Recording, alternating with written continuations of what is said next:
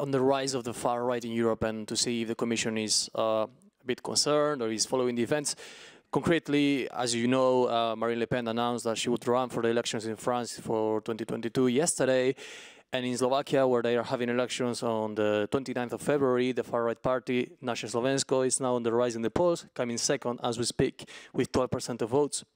His leader, Marian Kotleba, having been accused many times of uh, being almost a neo-Nazi. Is the Commission concerned of this new, maybe, rise on the far right and almost more than far right uh, trend in, in some countries in Europe? Are you following these events?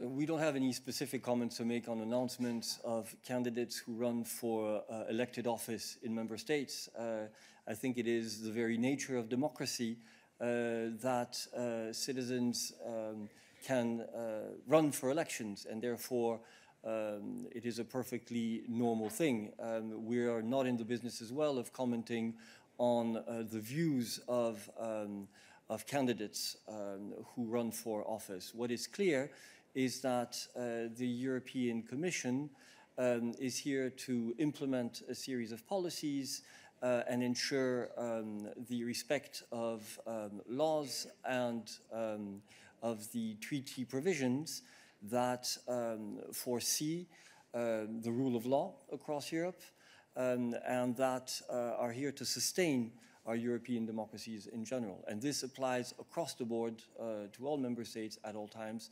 Uh, so we have no specific comments to make on particular election processes in member states. Thank you. Yes, please.